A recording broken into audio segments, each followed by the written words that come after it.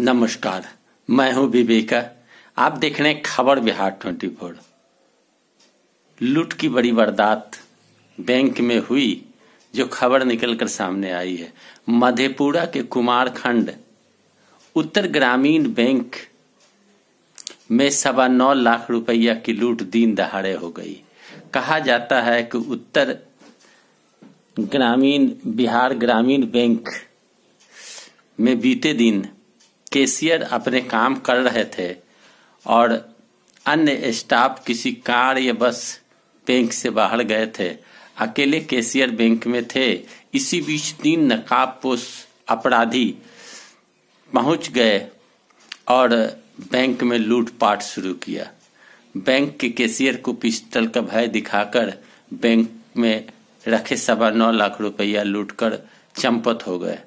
खबर मिलते ही अन्य स्टाफ बैंक में पहुँचे और पुलिस को खबर दी। पुलिस सीसीटीवी कैमरे को खंगाल रही है। इसकी पूर्व भी कुमारखंड में बैंक में लूट हुई थी दो माह पहले और 29 नवंबर 21 को दिन दहाड़े छह लाख चौदह हज़ार की लूट की गई थी। उसके पूर्व यू 2006 में भी पाँच लाख पचासी हज़ार रुपया लूटे गए थे।